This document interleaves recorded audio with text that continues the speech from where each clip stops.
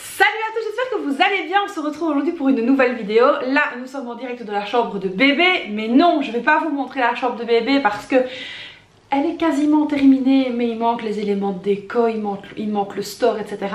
Donc ça on fera une vidéo un peu plus tard, d'ici un mois ou deux. Mais en tout cas vous pouvez déjà apercevoir plus ou moins la couleur, enfin les couleurs, puisqu'il y a deux couleurs, il y en a une ici et une ici.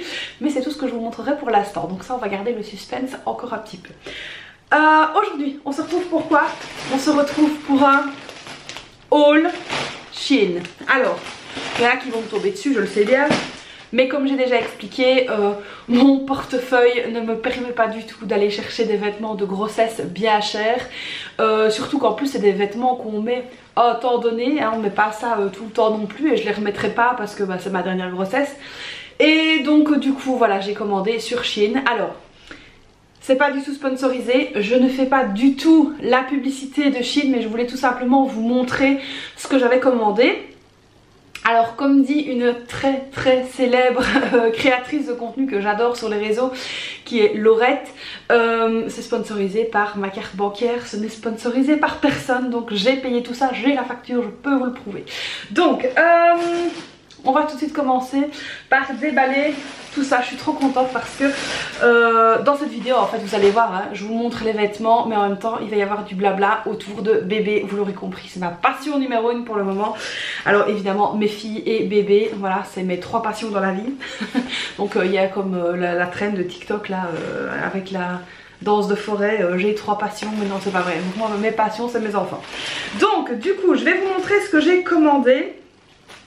Franchement j'ai hâte parce que euh, j'en peux plus. Si je vous montre ma dégaine que j'ai là, j'ai un pantalon de grossesse, j'ai un pull qui est pas de grossesse donc du coup il remonte, c'est une catastrophe, on voit tout mon ventre. Euh, mais bon c'est un pantalon de grossesse donc on voit pas ma peau, hein, on est bien d'accord, hein. j'ai quand même une petite blouse ici, euh, ici en dessous, hein, comme ça on ne voit pas. Mais j'en peux plus parce que même les pantalons de pyjama etc ça me coupe, ça me fait mal et en plus j'ai quand même pas mal de ventre. voilà. Euh, alors euh, bizarrement j'ai pas grossi. Oh, très bizarrement je n'ai pas grossi. Mais par contre oui j'ai du ventre. Donc euh, voilà. Bébé est bien là il est bien en place machallah donc voilà. Alors je vais vous montrer d'abord tout ça. Alors j'ai pris un pantalon comme ça euh, d'intérieur. Alors exprès j'ai pris euh, dans les curves alors moi je m'habille déjà de toute façon dans les curvy mais euh, là j'ai pris un XL alors que d'habitude je prends du 0 XL et alors en plus celui-ci il est très bien parce qu'il s'élargit. Donc ça c'est top. Et en plus j'ai pris de grossesse comme ça c'est large et c'est pas mal. Donc là c'est un espèce de pantalon de training. Je sais pas si vous allez bien voir. Il se referme comme ça au pied donc ça c'est top, je vais être super à l'aise dedans et je suis très contente. Alors je vais envoyer ça sur le lit de bébé, voilà. Alors, euh, alors franchement je sais pas euh, s'il y a euh, des personnes qui se rappellent de leur ancienne grossesse. Euh, moi en tout cas avec les filles je me rappelle pas que j'avais autant galéré pour m'habiller. Maintenant c'est vrai que pour la petite par rapport à la grande j'avais encore mes vêtements de grossesse donc je les ai mis très très vite que ici franchement c'est une pénitence euh, pour m'habiller. Alors j'ai pris ceci hein, je parie que vous le connaissez euh, tous et toutes. C'est le fameux petit training je vais dire comme ceci hein, qu'on voit partout sur Chine. Donc moi je l'ai pris là bah, en grossesse évidemment. Donc il y a ici la blouse. Donc ça j'ai hâte de pouvoir le mettre et de rester à l'aise dedans. Donc il y a ça. Et puis ensuite il y a le pantalon. Je regardais bien que c'était de grossesse mais oui ça est bien. Il y a bien, il y a bien ici euh, le petit machin pour, euh, pour le ventre. Et donc ça. Donc ça c'est pas mal. Et alors il y a une petite ceinture pour remettre comme ça au-dessus. Franchement, vous pouvez pas imaginer à quel point j'attendais cette commande. Je vais balancer tout ça là. En même temps, bah, je les ai pas lavés encore, donc c'est bon.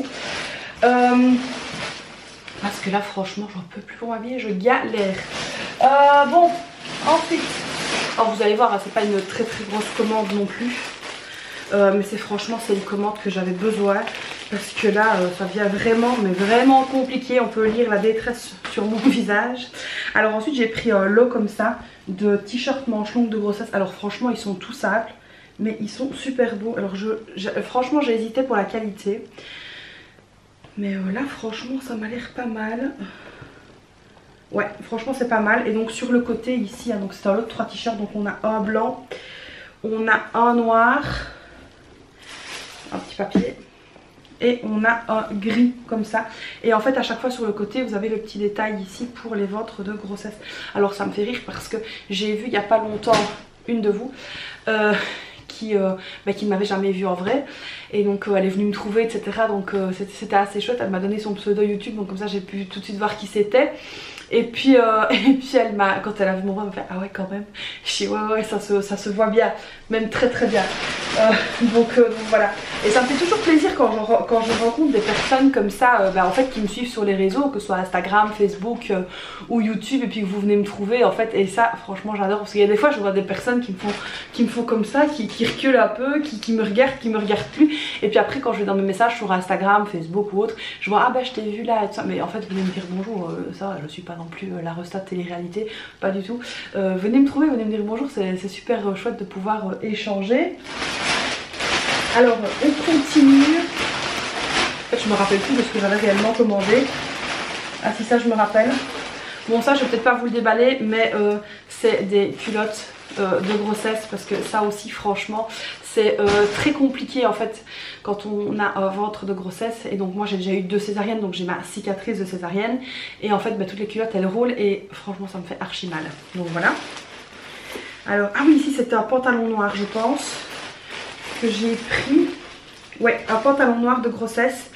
Euh, bah, en fait tout simplement parce que j'ai des pantalons noirs mais euh, pas de grossesse. Alors celui-là par contre il me paraît un peu large ouais lui par contre il me paraît un peu beaucoup large alors j'espère que ça va aller sinon je vais devoir le renvoyer Bon, on va essayer ça de toute façon, je vais les essayer. Euh, les t-shirts, ça, euh, ça a l'air super bon. Le pantalon euh, de training aussi, le, le, petit training là aussi. Mais ça par contre, ça me paraît quand même vachement large. Franchement, dites-moi ce que vous en pensez. Mais il me paraît quand même large. Mais on va l'essayer. Parce qu'en fait, j'avais plus de pantalon habillé. Et, et, donc du coup, mon mari m'a dit, écoute, reprends-toi un pantalon noir. Parce que c'est vrai que quand je sors, bah, en fait, je mets mes jeans de grossesse. Et, et puis là, comme je vous dis, j'ai pas grossi pas du tout même, c'est peut-être même l'inverse. Je pense que je je me suis pas pesée, ça fait un moment. Euh, euh, et, en fait je pense, je pense que je dois avoir perdu un kilo ou deux. Mais voilà, comme je vous ai dit, je mange plus tout de la même manière. Euh, pas que je mangeais mal avant, mais je mangeais, je mangeais quand même beaucoup plus gras, etc. Et là, j'arrive plus du tout à manger gras. Et le soir, et le soir, je restreins vraiment les quantités parce que sinon j'ai un brûlant, mais d'enfer. Le brûlant c'est l'acidité parce que j'ai reçu, euh, j'ai reçu des commentaires où on me disait mais Christelle c'est quoi le brûlant? C'est l'acidité. Et ma veste, alors ça, vous pouvez pas savoir à quel point je l'ai attendue. Elle est super belle. Voilà, en fait je découvre en même temps goût parce que le facteur vient juste de venir donc il a, elle est comme ça à l'intérieur. Alors je vais vous l'ouvrir. Voilà, elle est comme ça à l'intérieur. trop bien. Et eh ben vous savez quoi? Alors ça je me rappelle très bien du prix donc elle est super belle. C'est une veste noire comme ça, elle s'élargit ici. Alors euh, l'histoire de la veste, parce qu'il y a une histoire avec cette veste.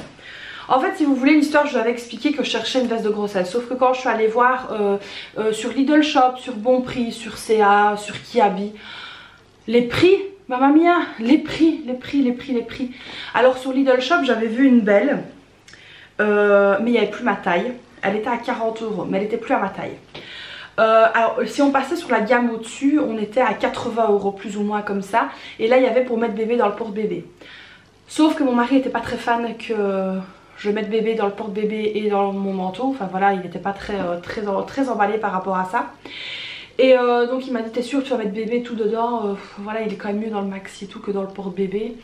Et donc du coup bah, j'ai hésité. Mais bon après euh, voilà j'avais un problème au niveau des tailles. Et j'étais pas sûre parce que je me dis qu'à un moment donné si je prends du ventre est-ce que je vais pas devoir changer de taille de veste? Enfin bon bref.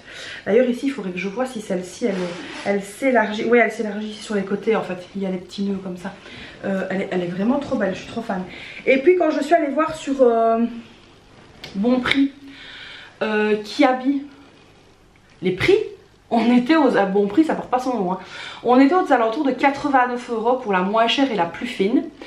Euh, et alors pour vraiment les doudounes et les vestes rembourrées un peu comme ça, on était sur du 119, euh, 129 euros. Je trouvais ça vraiment trop trop cher.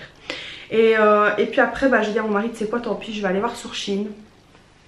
Et sur Chine, je l'ai payé 18,34 euros. Donc franchement, ça vaut la peine. D'autant plus que comme je vous l'ai dit, je vais quand même pas la mettre des mois et des mois parce que donc euh, bébé est prévu, d'ailleurs ça je vais vous en parler, bébé est prévu euh, mi-avril et euh, alors je sais qu'il arrivera un peu plus tôt. Ça je vais vous expliquer aussi. Je sais qu'il arrivera un peu plus tôt donc il fera pas non plus super chaud et je pense que cette veste là je pourrais la mettre vraiment jusqu'au bout. Donc ça c'est top. Donc voilà pourquoi je vous dis qu'il y a une histoire avec cette veste. Je vais la balancer par là. Donc voilà pourquoi je vous dis qu'il y a une histoire avec cette veste parce qu'au final je l'ai payé 18,34€ et je suis quand même vachement contente. Alors, justement, par rapport à bébé, euh, il va très bien. Il fait la fiesta. il est bien grand et tout ça, machin là. Euh, il prend bien du poids. Cependant, comme je dois accoucher par césarienne, euh, donc voilà, c'est comme ça, il n'y a pas de pourquoi, comment, machin. Non, non, je dois accoucher par césarienne, c'est obligatoire pour moi. J'ai déjà eu deux césariennes avant et ici ce sera de nouveau une césarienne. Euh, donc elle m'a dit que j'accoucherais un peu plus tôt que la date prévue qui était donc à la mi-avril. Alors on a pris une décision avec mon mari, c'est que euh, je ne communiquerai pas sur mes réseaux euh, quand bébé sera né. Je ne communiquerai pas non plus la date prévue parce que je la sais déjà plus ou moins. Enfin il y a trois jours d'hésitation mais je la sais déjà plus ou moins. Euh, donc voilà, donc nous on est très contents évidemment de savoir quand, parce qu'avec une césarienne c'est beaucoup plus facile, on rentre à l'hôpital, paf on ouvre, on sort bébé, emballé, c'est pesé. Concernant le lieu aussi, euh, je le dirai pas non plus sur mes réseaux. Pourquoi? Parce que euh, on a envie de garder un petit peu notre intimité. Il y aura seulement les personnes qui sont proches de nous, donc nos amis en l'occurrence, euh, qui seront donc euh, bah, au courant quand bébé sera né. Et il n'y aura que les personnes qui auront le numéro de la chambre qui pourront venir, tout en sachant que dans la maternité où je vais aller, euh, et ben, depuis le Covid, il n'y a que deux visites autorisées par jour, autres que le papa et les frères et sœurs. Donc du coup ça limite évidemment vachement. Donc évidemment les personnes qui voudront venir me voir, qui sont dans nos amis proches, même très très proches, euh, qui auront le numéro de la chambre pourront, je vais dire, débarquer à l'hôpital et les autres ne, ne le sauront pas, j'ai envie de dire ça comme ça. Donc nous on communiquera quand on sera rentré à la maison avec bébé, parce qu'il y a des personnes tout simplement qu'on ne souhaite pas voir. Euh, alors je sais que dans les personnes qu'on ne souhaite pas voir, bon là je vous parle un petit peu de la sphère, de plus privée, euh, il y a en grande partie de la famille, voilà, parce que vous le savez, hein, vous savez qu'il y a une partie de la famille à qui on ne parle plus. Euh, et c'est de mon côté. Alors moi j'ai de la famille évidemment, mes cousins etc qui habitent, euh, qui habitent pas tout près. Et eux je sais qu'ils viendront. Et euh, voilà, enfin on les a vus encore la semaine dernière. Donc voilà je sais qu'ils viendront etc et ça n'y a pas de souci, enfin voilà je les accueille avec un grand grand grand plaisir. Mais il y a de la famille proche à moi que je ne souhaite pas voir, alors ça me fait bien rire parce que ça vient dans les commentaires sous mes vidéos YouTube. Hein, et ça répond à des commentaires en pensant que je ne vais pas voir les commentaires mais évidemment je modère les commentaires et ça vous le savez et je laisse pas passer parce que venir jouer les personnes éplorées euh, sur des faits qui se sont passés et des faits j'ai envie de dire qui se sont passés il n'y a pas tellement longtemps encore où on me cherche misère tout le temps euh, ben ça n'a pas de sens en fait. À partir du moment et ça vous allez euh, sûrement être d'accord avec moi où on porte atteinte à mes enfants où on porte atteinte, bon à moi je m'en fous encore, t'as envie de m'insulter, euh, vas-y fais-toi plaisir. Mais où on insulte mes enfants, ça il faut bien savoir, où on insulte mes enfants et que je préviens, je dis attention, tu es sur haut-parleur et qu'on me dit je n'en ai strictement rien à faire et où on insulte mes enfants et que mes enfants sont là et entendent, pour moi c'est impardonnable, mais impardonnable. Donc du coup euh, tout ça pour vous dire, hein, parce que bon ça c'est un petit peu de la sphère privée, il y en a qui vont me dire oh j'en ai rien à faire que tu déballes ton linge sale mais au moins comme ça c'est dit et vous le savez parce que c'est vrai que je reçois parfois des petites questions quand je fais les FAQ mais tu parles pas de ci, tu parles pas de ça, tu parles pas de, tu parles pas de ça. Donc moi ce qu'il faut savoir c'est que pour moi mes parents sont morts et enterrés depuis le mois d'août 2022, ça ne changera pas parce que c'est très facile de venir en commentaire et d'essayer, euh, et pas d'essayer de prendre contact avec moi directement. Non, c'est plus facile d'essayer de passer en sous-marin pour se faire passer pour une personne bien. C'est pas du tout le cas. Et euh, franchement, je m'en tape de ce qui va se passer par la suite parce que ce qu'il faut savoir aussi, c'est que quand je reçois des commentaires, par exemple sur Instagram ou des choses comme ça, des questions, est-ce que tu veux encore telle ou telle personne et que je dis non, je ne veux pas euh, parler de ces gens-là et je ne veux pas avoir de contact, on a la facilité de m'envoyer une lettre d'avocat en me disant mais tu ne dois pas parler de nous sur les réseaux. Alors déjà je parle de qui je veux, euh, déjà. Et, euh, et, donc voilà, c'était pour vous expliquer un petit peu la sphère dans laquelle on est. Donc nous la sphère dans laquelle on est pour le moment et dans l'état d'esprit dans lequel nous sommes, c'est qu'on veut notre tranquillité. Et ça, je pense que euh, bah, vous comprendrez, les personnes qui ont des enfants, les personnes qui sont saines d'esprit, vous comprendrez que la tranquillité n'a pas de prix. Donc nous, on est très très bien. On vit très très bien entre nous, notre petit cocon. Alors on a des amis, ça c'est sûr, hein. mon mari a des amis, j'ai des amis aussi. Euh, parce que ça aussi, je l'ai lu sur les réseaux sociaux, on m'a dit ah, t'as pas d'amis, euh, tes amis te tournent le dos. Pas du tout, pas du tout. Et alors ce qui me fait rire, c'est quand on va contacter mes amis, et où mes amis sont quand même assez malins, et font croire qu'on ne se parle plus. Donc du coup la personne, elle y va, elle y va, elle y va, elle y va, elle crache du sucre sur notre dos. Là c'est un truc de malade, franchement c'est de la psychopathie, mais de loin c'est de la psychopathie. Franchement c'est un truc de fou. Donc du coup nous on est très bien comme ça. Avoir fait un tri familialement parlant nous a fait beaucoup de bien.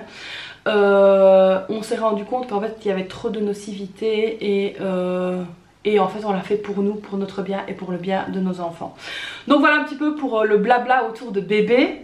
Alors il y en a qui vont très, sûrement me dire mais Christelle tu laves ton linge sale en public c'est pas ça, c'est pas ça du tout, c'est pas du tout le but de cette vidéo. Le but de cette vidéo et ce que vous avez à retenir c'est tout simplement le super haul Shein que je viens de vous faire.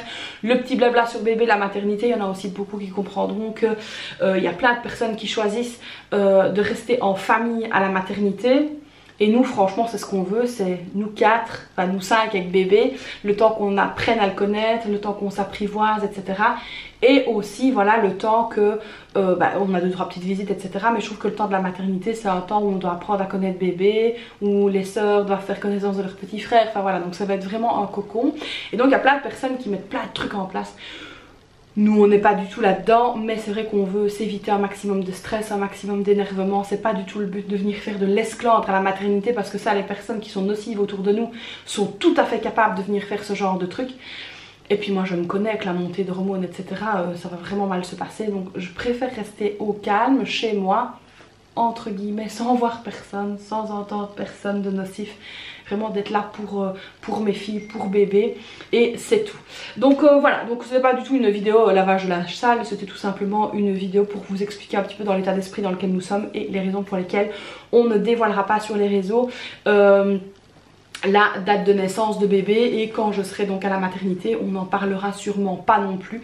Comme ça on évitera toutes sortes de stress. Donc si à un moment donné dans les mois à venir, vous ne me voyez plus pendant quelques jours, ben vous saurez très certainement que euh, bébé a pointé le bout de son nez. Mais dès qu'on sera de retour à la maison, je vous ferai une petite euh, photo, une petite vidéo. Je sais pas comment ça va se passer, mais en tout cas j'espère que ça se passera du mieux possible. Alors c'est sûr que euh, ça je vous en parlerai très certainement dans les mois à venir. Mais on va dire qu'à partir du mois de mars, euh, je leverai très certainement le pied donc au niveau de mes réseaux euh, histoire de bien profiter des derniers moments de ma grossesse et de ne pas être stressée etc euh, et, donc voilà. Donc j'espère que ce petit haul et ce petit papotage autour de bébé vous aura plu. Donc restez bien connectés parce qu'il y a plein de contenus qui arrivent concernant le budget 2025 et puis bah, plein de choses arrivent puis je vous ferai le petit room tour de la chambre de bébé qui est juste là qui est trop belle. Franchement mon mari il a super bien travaillé. J'espère que cette vidéo vous aura plu quand même, donc n'hésitez pas à liker la vidéo, à vous abonner à la chaîne, me laisser un petit commentaire, et puis moi je vous fais plein de bisous, je vous dis à très vite pour une prochaine vidéo. Bye bye